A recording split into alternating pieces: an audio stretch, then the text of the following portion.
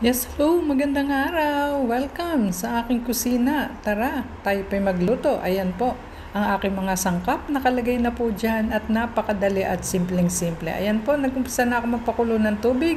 Nilagyan ko po ng konting asin at mantika. At akin na pong isusunod, syempre, ang aking nakahanay na malinis at nahugasan ng uh, cauliflowers. Ayan po. At may hiniwa na rin po akong sibuyas para mamaya. Ayan, kumukulo na po ang tubig. Akin na pong inilagay ang cauliflowers at akin lamang po yan ibablance ng mga 5 seconds. Ayan po, para crunchy po ang ating gulay. Hindi po kinakailangan na malambot o very soft dahil wala na po ang nutrients niya pagka nagkaganon. Ayan, saglit lang po.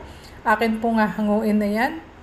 At Tsaka ko po siya igigisa. Ayan, malapit na po. Saglit na lang, mga 2 seconds na lang po. At akin na po yung aalisin sa kawali. Ayan na nga po. Inisa-isa ko na po siyang tanggalin. Ayan, nilagay ko po ulit sa may strainer para wala pong tubig pag ating iginisa na sa sibuyas. Ayan, kasimple lamang po ang ating gulay.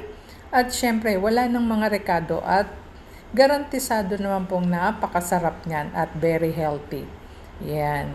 Di na po natin kailangan. Pero nasa sa inyo rin po kung gusto nyong lagyan sa akin po, pinapakita ko lang kung paano po ako magluto ng ganitong gulay. Ayan po. Sa mainit na mantika, nagisa na po ako ng sibuyas. I-try niyo po ang sibuyas at napakabango po niya.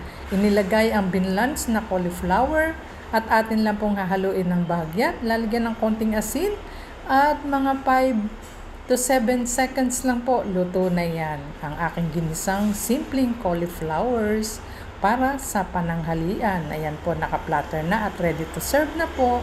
At thank you for watching. Bye-bye!